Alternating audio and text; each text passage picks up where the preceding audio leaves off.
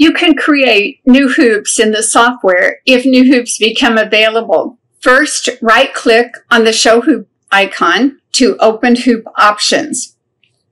Select the type of machine that you're going to be creating the hoop for, and then click on create.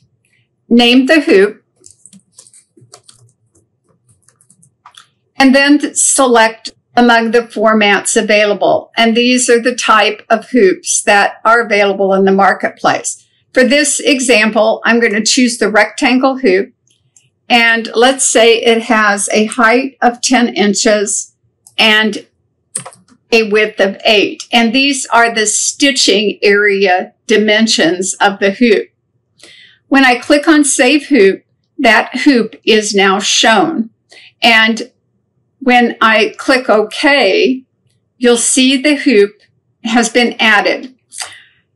If I measure between the red lines, it will be eight inches wide and 10 inches in height. So that's the actual stitching dimensions. And then the hoop border is around the hoop.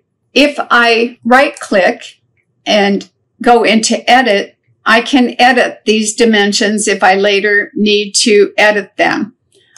I can also delete this hoop and you will get a verification that you do want to delete any hoop that you've added to the software. You cannot delete hoops that are built into the software.